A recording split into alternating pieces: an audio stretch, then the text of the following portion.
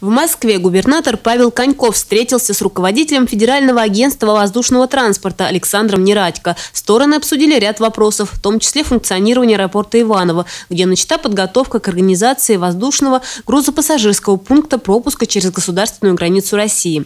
Предстоящая реконструкция здания аэровокзала позволит разместить здесь службы таможенного и пограничного контроля, чтобы Ивановский авиаузел стал действующим международным аэропортом. Еще одна тема встречи – субсидирование региональных воздушных воздушных перевозок. На сегодняшний день из областного бюджета выделено 55 миллионов рублей. Это субсидии на рейсы в Москву, Анапу и Сочи. В этом году у нас пока нет субсидирования на э, рейс Санкт-Петербург. Э, и мы достигли договоренности, что в Росавиации из оставшихся средств э, они постараются изыскать возможность, и в четвертом квартале нам субсидируют эти рейсы. И основной вопрос, конечно, был 2018 год. Мы субсидии на рейсы э, Москва, э, на рейс Санкт-Петербург, Казань, Анапа, Сочи.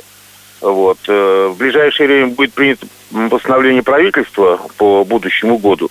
И Александр Васильевич обещал, что его просьба будет рассмотрена в приоритете.